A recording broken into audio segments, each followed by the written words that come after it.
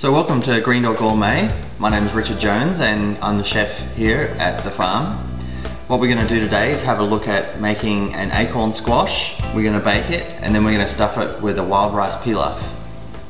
So to start we're going to cut our acorn squash just straight in half and to do that we're going to do it from top to bottom uh, and that way each serving will have an equal part of the acorn squash. Just get the acorn so that it's as flat as possible on one side and then put your knife, a large cook or chef knife, onto the squash and then just rock backwards and forwards until you get it halfway through. And now lean it up so that you have the point of your knife on the chopping board and the stem is underneath.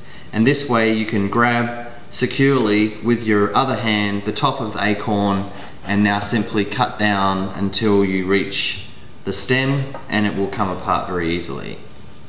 The next step is to remove the uh, pulp and seeds and so just taking a dessert spoon you can simply scrape those out and remove any of the stringy pulp. So I'm going to pop that into the baking dish.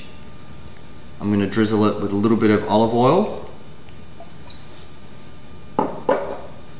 just rub that in the flesh a little bit. Then I'm going to take some salt. The olive oil helps, helps the salt to absorb into the acorn flesh as it's cooking.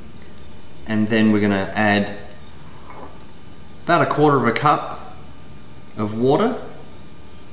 And that steam helps to cook the squash more evenly. And finally, before we put it in the oven, I'm going to top it with foil and that will trap the steam in the dish and allow it to evenly cook the acorn squash. So now we have it covered with foil and we've got the water in there. The oven's preheated to 375 degrees and we're going to put it in on the middle rack. We're going to leave it in there for 35 to 45 minutes and then whilst we're doing that I'm going to show you how to cook the wild rice pilaf. And to start with that we're going to use about half a cup of onion, a little bit of garlic, the wild rice and some water. And so to start off just preheat your uh, stove with a saucepan over medium heat. Add about a tablespoon of olive oil. And then you can add about half a cup of your chopped onion. And then dice up some fresh garlic. This is uh, from the Barefoot Farmers Long Hungry Creek Farm and so take your garlic clove and then crush it with the back of your knife, the side of your knife and then just chop it up. So once you have the onions sauteing in your pot, you just want that at a medium heat uh, so that the onions don't get too much color on them. And they'll start to turn a little bit clear. And then at that point you want to add your garlic. Just got about one clove of garlic here you're going to add the rice and this coats the rice and allows it to absorb water a little more slowly so that it retains a little more texture in the final result. So once that has allowed to saute for a little bit, then you'll add the uh, two cups of water to one cup of rice. It's a wild rice blend, so it also has some brown rice, and white rice and purple rice too. I'm gonna add about a teaspoon of salt and allow that to come up to a boil. So at this point you can turn the temperature up. And so now it's come to a boil. I'm gonna give it a stir, turn the heat down to medium low, just so that it's at a low simmer. Put the lid on and allow it to cook for about 30 minutes.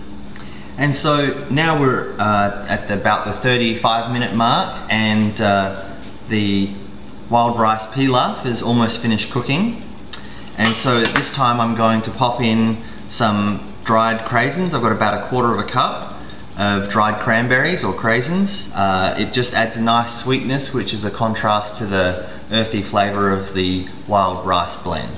So I'm going to pop those in and give it a stir and that's going to uh, absorb some of the liquid that's left in the pilaf as well as uh, plump up the dried craisins. That's just had a little bit more time to cook. We're going to put that into the acorn squash that we'll check in a minute and top it with some sliced almonds. And so now I've taken the acorn squash out of the oven. It's been about 45 minutes and the acorn is soft to the touch and then I'll use the tip of the knife that inserts really easily and it shows me that the acorn is cooked through and through.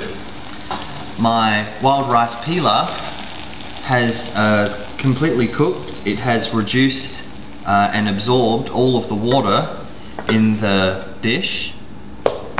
Firstly, I'm just gonna let these drain a little bit and then discard any excess water in the bottom of the baking dish.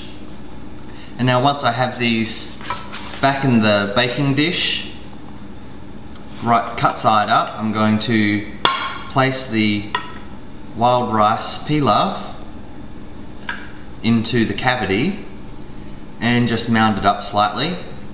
Once you add the pilaf, I'm going to top that with some sliced almonds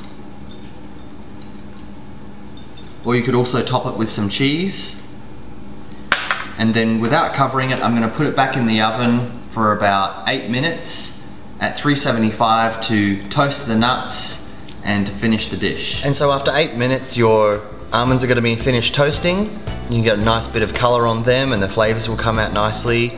Or if you use cheese to melt it would be nicely gratinade on top nice little bit of colour and I've just garnished it up with a little sprinkle of parsley and on some greens in a shallow bowl ready for your favorite guest.